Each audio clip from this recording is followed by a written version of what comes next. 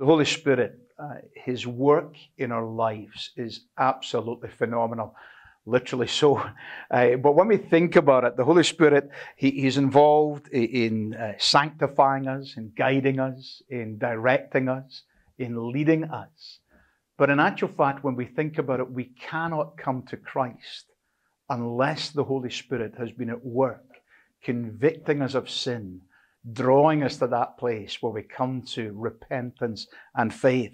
And so, in God's gracious work of election, of calling, of regeneration, of repentance, of faith, of justification, and of adoption, the Holy Spirit is working effectively to do what he does best, and that is to unite us to Christ.